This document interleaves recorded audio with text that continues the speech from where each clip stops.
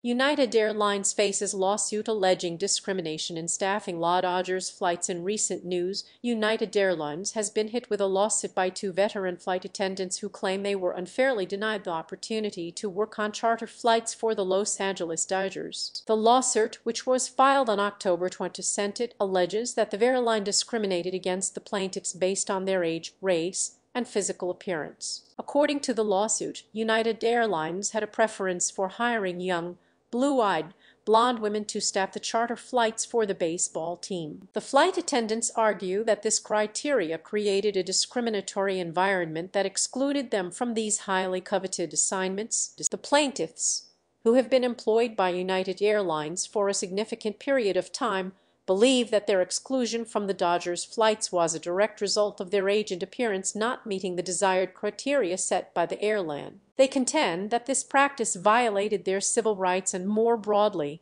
reinforces a culture of discrimination within the company. It is worth noting that United Airlines has not responded to this specific lawsuit. However, they have come under scrutiny in the past for similar allegations of discriminatory practices. The outcome of this latest lawsuit may have implications not only for the plaintiffs but also for the airline's reputation and potential changes in their hiring and assignment processes in the future. Discrimination based on age, race, and physical appearance is a violation of federal and Shana laws. Employers are legally required to provide equal employment opportunities regardless of these characteristics. The airline industry in particular has faced criticisms over the years for instances of discrimination and biases in their hiring and staffing practices. As the lawsuit progresses, it will be interesting to see how United Airlines responds to these allegations and whether the court finds merit in the flight attendants' claims. This case serves as a reminder of the importance of maintaining inclusive and non-discriminatory practices in the workplace